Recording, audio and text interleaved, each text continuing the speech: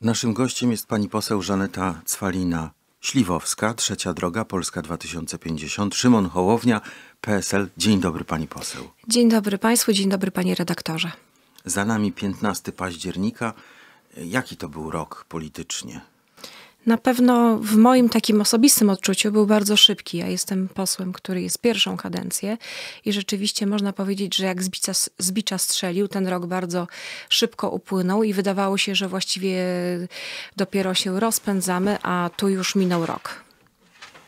Pani poseł, a jak pani wczoraj e, zobaczyła w Polsacie wyniki sondażu, 31% Prawo i Sprawiedliwość, 30% Koalicja Obywatelska, Konfederacja 9,8% i Trzecia Droga 9,3%. To co pani pomyślała?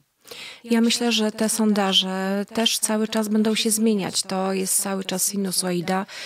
Y, one będą fluktuować. To przede wszystkim nastroje społeczne i wydarzenia bieżące wpływają na to też, jak y, społeczeństwo odbiera y, poszczególne partie polityczne.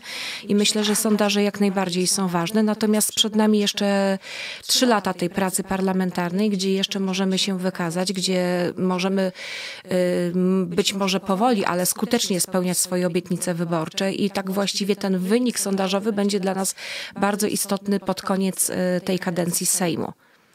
E, a też socjolodzy mówią, że z trzeciej drogi wyborcy odpływają do Konfederacji. Dlaczego? Ja myślę, że przede wszystkim e, jakieś e, takie ogólne oburzenie wyborców właśnie w związku nawet z tą, z tą sytuacją geopolityczną, jaka też w Europie się dzieje, na Bliskim Wschodzie, sprawia, że e, nasi wyborcy też zaczynają mieć bardzo skrajne poglądy w niektórych aspektach. Natomiast my cały czas ostrzegamy, porównujemy jednak tą konfederację, ich postulaty do tych czasów, które były bezpośrednio przed II wojną światową. Sam związek e, Konfederacji z AfD i takie bardzo bliskie e, relacje świadczą o tym, że to rzeczywiście jest partia, która na pierwszy rzut oka wygląda proprzedsiębiorczo, tak propaństwowo i ona rzeczywiście na pierwszy rzut oka jest atrakcyjna. E, ale jeżeli ktoś zagłębi się bardziej w te postulaty i w tą politykę, rzeczywiście widać tam skrajne postawy i można powiedzieć wręcz niebezpieczne, więc my jako oczywiście oczywiście partia polityczna y, spróbujemy przedstawić siebie w jak najlepszym świetle, swoje postulaty y, proeuropejskie, zielone, y, progospodarcze. Natomiast, tak jak mówię, no, nie chcemy po prostu nikogo hejtować, mówić o nikim źle, natomiast zwracamy uwagę i pokazujemy jakieś niebezpieczeństwa, które się z tym wiążą. Na pewno sytuacja ta, niebezpieczeństwo też za naszą granicą, to, że po prostu obywatele boją się o swoje bezpieczeństwo, o swoje biznesy, o swoje rodziny, też sprzyja temu, aby właśnie e, skłaniać się ku tym skrajnym poglądom.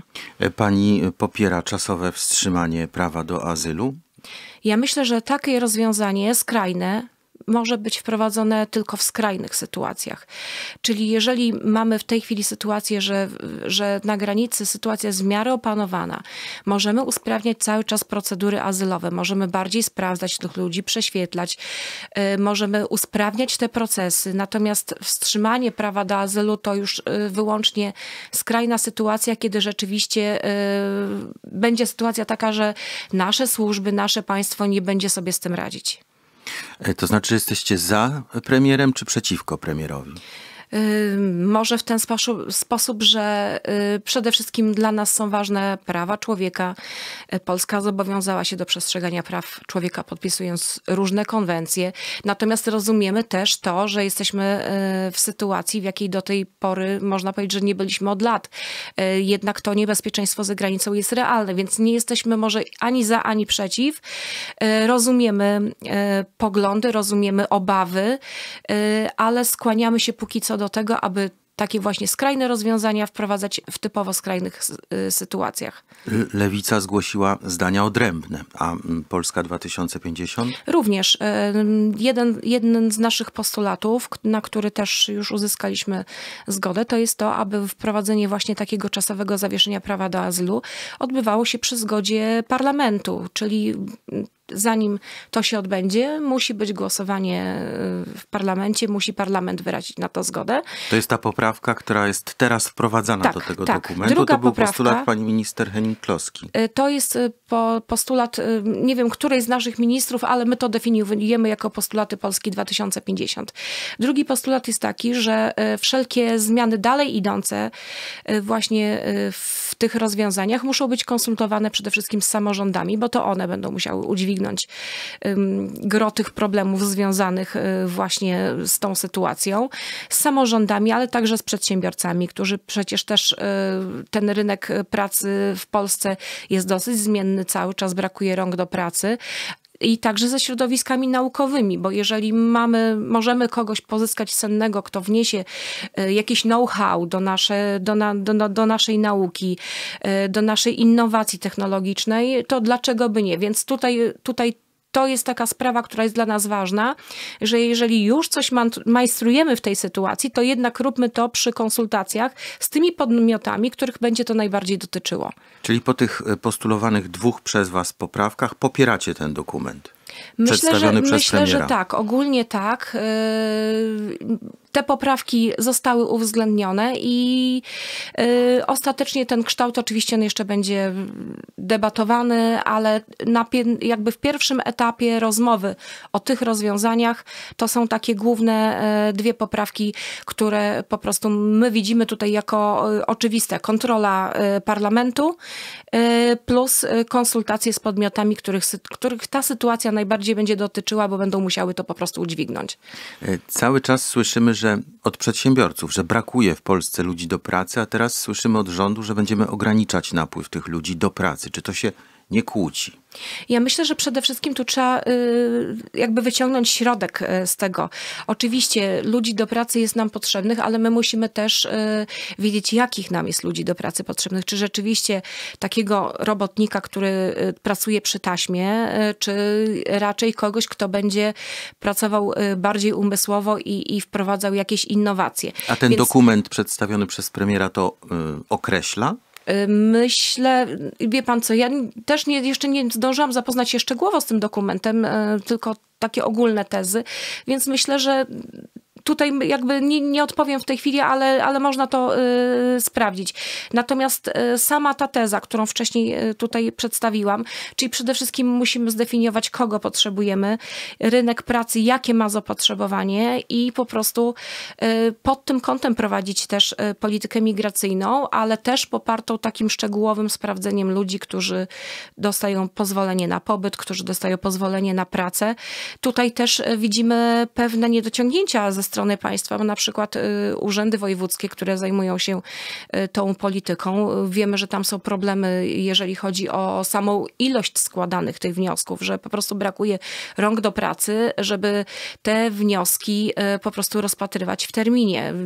U mnie w województwie mazowieckim, bo jestem z województwa mazowieckiego posłem, y, jest rzeczywiście sytuacja taka, że, y, że właściwie są skrajne sytuacje. Ktoś, kto już tutaj pracuje, jest y, wiadomo tym imigrantem zarobkowym, tak, y, kończy mu się czas pobytu i nie jest w stanie urząd obsłużyć tego wniosku na czas, rozpatrzyć, żeby on y, po prostu miał y, te dokumenty przedłużone, więc my myślę, że najpierw powinniśmy usprawnić mechanizmy, które już mamy, zrobić audyt, co działa, co nie działa i poprawić je, a dopiero później myśleć o dalszych rozwiązaniach, bo możemy sobie wymyślać rozwiązania na przyszłość, kreować, ale jeżeli mam ten mechanizm, który już mamy wprowadzony, nie działa zbyt dobrze, no to jak gdyby sam pan redaktor widzi, że tutaj trzeba po prostu pracy u podstaw, żeby później coś rozwijać. Minister Duszczyk tłumaczy, że mm, to ma być na takiej zasadzie, że e, chcemy, żeby przyjeżdżali do Polski e, ludzie z krajów, z którymi Polska ma podpisaną umowę o readmisji.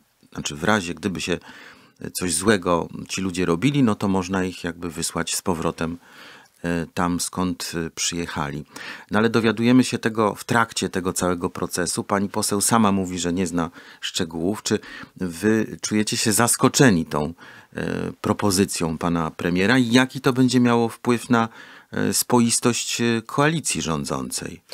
Ja myślę, że tak. E, czujemy się w, pewien, w pewnym sensie zaskoczeni, bo nie było wcześniej prowadzonych, przynajmniej jeżeli chodzi o parlamentarzystów, e, takich rozmów. A powinny być? Myślę, że takie, takie szerokie konsultacje, jeżeli chodzi o takie rozwiązania, powinny być prowadzone. Z drugiej strony trzeba też zrozumieć premiera, że sytuacja jest dynamiczna i pewne rozwiązania muszą być wprowadzane sprawnie i szybko. A jaki Jednak, to będzie miało wpływ na koalicję? Jednak to, co ja bym chciała podkreślić i to, o co my właściwie walczymy zarówno przy, przy tej ustawie obronnej, żeby był cały czas, e, była kontrola parlamentu. Jesteśmy parlamentarzystami wybranymi przez obywateli, reprezentujemy ich, w ich imieniu sprawujemy pewną kontrolę nad tym, co w państwie się dzieje, więc tu będziemy stać sztywno na stanowisku, że wszystkie takie działania powinny być pod kontrolą parlamentu. Czy wpłynie to na koalicję? Myślę, że sam e, jakby kształt koalicji, to, że jesteśmy bardzo różni i te tarcia są właściwie przy każdych wprowadzonych rozwiązaniach, bo bardzo daleko jest na przykład od lewicy do PSL-u y, i światopoglądowo, i, i mentalnie w jakiś sposób, tak? Więc y, jakby to nie jest nic nowego, że są jakieś tarcia, że gdzieś coś jest niedopowiedziane, że musimy coś wyjaśnić, coś sobie dopowiedzieć, coś ustalić.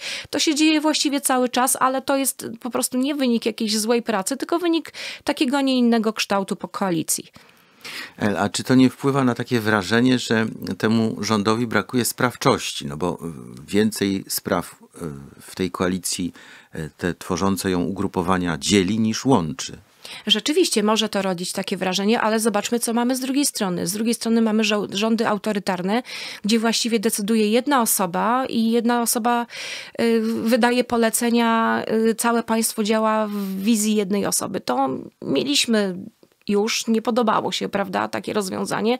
Więc z drugiej strony mamy te rozwiązanie demokratyczne, gdzie mamy ten pluralizm, który przecież jest dobry. Widzimy na przykład na podstawie Stanów Zjednoczonych, gdzie mamy tylko dwa ugrupowania polityczne, jak bardzo tam e, właściwie ta agresja i wyrogość wobec siebie narasta teraz, zwłaszcza przed wyborami e, prezydenckimi w Stanach Zjednoczonych, więc myślę, że ten pluralizm jest jak najbardziej dobry, natomiast ma on swoje wady, a wadą jest to, że wszystkie rozwiązania e, trzeba ukształtować w taki sposób, żeby był wilk syty i owca cała i żeby każda, każdy z koalicjantów w jakiś sposób wyszedł z twarzą e, po wprowadzeniu danego rozwiązania. Jest to normalne, nie będzie to szybko, nie będzie to sprawnie, bo jest więcej ustaleń, więcej, że tak powiem, potrzeb do zaspokojenia. Natomiast no, spróbujmy popatrzeć, jakie mamy inne możliwości i one też nie wydają się dobre. Wydaje mi się, że to rozwiązanie, czyli ten plur, plur, przepraszam, pluralizm, e, demokracja, pomimo tego, iż procesy trwają dłużej, bo wymagają e, negocjacji, ustaleń, e, one w konsekwencji dla obywateli są lepsze, bo większa e, ilość i wielość poglądów jest reprezentowana w danym rozwiązaniu. To kiedy będziemy wiedzieli, mm, jaka będzie składka zdrowotna w przyszłym roku? E, myślę, że te rozwiązania już będą finalizowane w najbliższym czasie. Mamy budżet. W budżecie jest zabezpieczenie 4 miliardy złotych na obniżenie składki zdrowotnej. To jest kwota, w której ciężko się zmieścić, y, obejmując dużą liczbę obywateli, y, żeby po prostu to rozwiązanie działało dla jak największej y, warstwy społecznej, tak. Premier mówi, tak. że nie będzie tej składki od środków trwałych. To na pewno, to na pewno nie będzie tej składki od środków y, trwałych, natomiast my jako Polska 2050, to jest też nasz jakby główny postulat i, i, i, i nasza inicjatywa, postulujemy, żeby w przyszłym roku także ona dotyczyła tych mikroprzedsiębiorców i małych przedsiębiorców, którzy po prostu mają, naj, najbardziej ich dotyka ta składka. No ale ktoś planuje, to chciałby już, już wiedzieć, jak będzie. To kiedy będzie wiedział? Czy... Jeszcze trwają y, negocjacje nad tym, jak będą wyglądy, wyglądać ostatecznie te rozwiązania.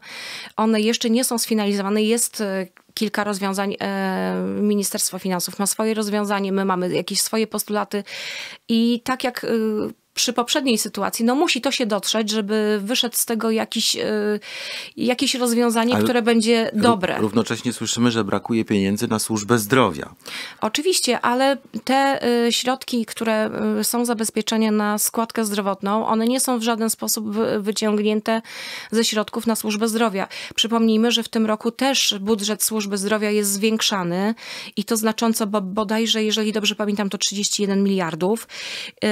I myślę, że to nie kwestia pieniędzy i ich ilości w służbie zdrowia ma znaczenie, a kwestia po prostu jakiegoś spójnego systemu zarządzania tą służbą zdrowia. Wiemy dobrze, że ile mieliśmy po drodze rządów, to tyle sobie nie poradziły, nie poradziło y, z tym, y, z tym tematem i moim zdaniem ja akurat nie jestem specjalistą y, w tej dziedzinie i też jakby nasza partia też ma, nie ma swojego przedstawiciela w ministerstwie, więc, więc dokładnie nie mamy wpływu takiego dużego na te procesy, ale uważam, że przede wszystkim głęboka reforma tej służby zdrowia, y, troszeczkę oparta też na systemie wprowadzenia tych podmiotów prywatnych lecz- leczniczych, tak? Troszeczkę trzeba spojrzeć na ubezpieczenia. Mamy y, NFZ, który jest powszechny, mamy też A ubezpieczenia kiedy medyczne. ta reforma, pani poseł? Nie wiem, no to już jakby jest kwestia przyszłości. W tej chwili e, jakby mamy inną politykę i inny pomysł na służbę zdrowia, e, który jest realizowany przez minister Leszczynę. I, A jak pani ocenia i minister widzimy- Leszczynę? To znaczy, mi się wydaje, że tak, że jeżeli chodzi o służbę zdrowia, to niezależnie ile byśmy tam wrzucili pieniędzy, to to wszystko zostanie pochłonięte. Więc y, tak jak mówię, moim zdaniem y, to jest głęboka reforma i nie wiem, czy jest taki rząd i czy będzie taki rząd, który zdecyduje się na taką głębo- głęboką reformę służby zdrowia, bo to będzie wymagało bardzo dużych wy- wyrzeczeń, bardzo, bardzo też niepopularnych decyzji, tak? I właściwie nie ma na to pomysłu od dłuższego czasu. Teraz sądownictwo. Czy mm, minister Bodnar powinien dostosować e, te proponowane zmiany do tego, co mówi e, Komisja Wenecka?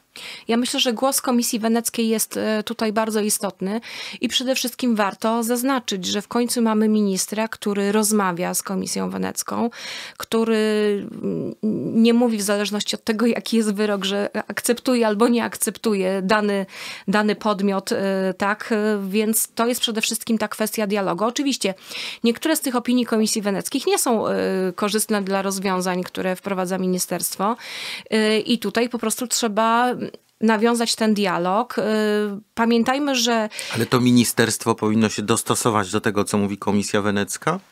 y, ministerstwo przede wszystkim powinno prowadzić di- dialog z Komisją Wenecką, tak? Powinno To jest brać, unik, pani poseł. brać pod uwagę Czy te teraz opinie. minister Bodnar Znaczy, ja powinien chciałabym zrobić to, co generalizować. wynika z tego, co mówi Komisja Europejska? Ja nie chciałabym gen- generalizować, tak? E, To są bardzo ważne opinie, ale jednocześnie my mamy też w Polsce swój system prawa. On jest jaki jest, taki, taki go zastaliśmy po, po rządach PiSu. I Wiele jest e, wątków, które jest po prostu tyle opinii prawnych od sasa do lasa, że właściwie nie wiadomo, co w danym temacie można zrobić. Pamiętajmy, że chcemy iść cały czas e, drogą prawa, praworządności, więc też te wprowadzane rozwiązania, które mają w jakiś sposób uregulować sytuację prawną w Polsce, muszą być dla obywateli przejrzyste i nie budzić żadnych wątpliwości. Nie chcemy być drugim pisem, który po prostu pewne zmiany przeprowadzał kolanem, powiedzmy w ten sposób, tak? E, Więc to jest bardzo ważne. Ja nie jestem prawnikiem. PiS mówi, że teraz zmiany są na rympał, więc... No, y, PiS jako partia opozycyjna zawsze będzie szukał swojej narracji i, i, i szukał po prostu jakiegoś punktu zaczepienia, gdzie będzie mógł budować taką narrację. to, co powiedziała Komisja Wenecka? Y, Właściwie, tak jak mówię, ja nie jestem prawnikiem, nie za bardzo chciałabym się wypowiadać y, w tym względzie. Natomiast, tak jak mówię, dla mnie jest ważne to, że jest ten dialog, że rozmawiamy, nie zamykamy się na te opinie i nie mówimy w zależności od wyroku niekorzystnego, czy któryś, y, z, któraś z tych instytucji jest ok, czy nie. A pani poseł, a kto będzie prezydentem Polski? Kto będzie? No, będzie ten polityk, którego wybiorą nasi obywatele. A I- kogo pani zdaniem I wybiorą? będziemy, będziemy ten, ten, y, tę opinię, ten werdykt szanować y, jako parlamentarzyści, jako, jako ci, którzy tych obywateli reprezentują. E, Nawet jeśli wygrałby polityk nie z tej koalicji rządzącej? Nawet jeśli wybrałby, wygrałby y, polityk z nie z koalicji rządzącej, a rzeczywiście byłby głosem obywateli, czyli reprezentowałby wszystkich Polaków, to jak najbardziej nie widzę tutaj możliwości nie współpracy czy nie szanowania. Przede wszystkim pamiętajmy, że to jest głos naszych wyborców. I niezależnie od tego, jaki będzie wyrok, to my jako parlamentarzyści y, będziemy to A szanować. koalicja cała rządząca powinna wystawić jednego kandydata? To jest trochę temat y, taki, że trzeba było wrócić do wyborów 15 października, gdzie była na szali albo jedna lista, albo y, ten pluralizm przedstawiający kilka list tak, y, politycznych. Myślę, że tutaj możemy tą sytuację, oczywiście te wybory nie są jeden do jednego takie same, ale możemy tę sytuację troszeczkę y, przyrównać. Mamy takich wyborców, którzy y, są, nie są skrajni. Nie reprezentują ani skrajnych poglądów z jednej strony, ani z drugiej strony. Gdybyśmy mieli tylko kandydata skrajnego z jednej strony i kandydata skrajnego z drugiej strony, to ci wyborcy nie mieliby na kogo zagłosować. I moim zdaniem em, taka reprezentacja, przynajmniej no, w tej pierwszej turze wyborów prezydenckich, gdzie rzeczywiście każdy z naszych obywateli będzie czuł się przez kandydata reprezentowany, byłaby demokratycznie lepsza. Natomiast mamy tu też kwestię strategii politycznej i mm, z drugiej strony patrząc, rzeczywiście silny kandydat przeciwko silnemu kandydatowi to jest ym, sytuacja politycznie lepsza, ale ona będzie jeszcze bardziej nakręcać polaryzację. Więc tutaj nie ma takiego scenariusza y, w 100% mówiącego o tym, o wyższości jakiegoś rozwiązania.